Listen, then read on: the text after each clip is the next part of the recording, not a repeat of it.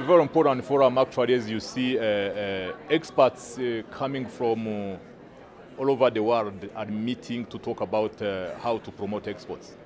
And this is a major uh, topic for a country like Rwanda. As you know, we still have a very narrow export base. We are struggling to develop strategies to grow it. And learning from experience of other countries for a country like Rwanda is extremely important.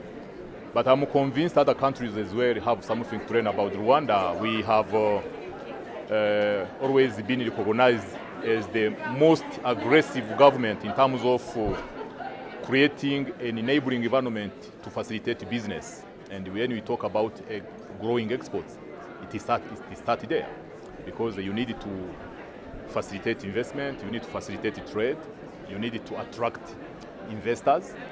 But uh, uh, those facilitation may not uh, be uh, sufficient. Uh, there, are may, there may be some other challenges we need to address. Uh, for example, when it comes to encourage small and medium enterprises to go globally, there are issues to address, to go through the regulatory framework in destination countries.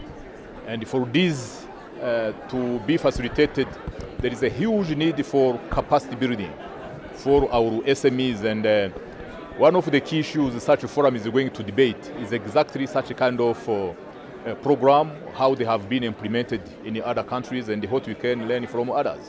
when we talk about SMEs in Rwanda, actually 98% of uh, business in Rwanda are SMEs. so which means uh, actually all our exports are generated by SMEs.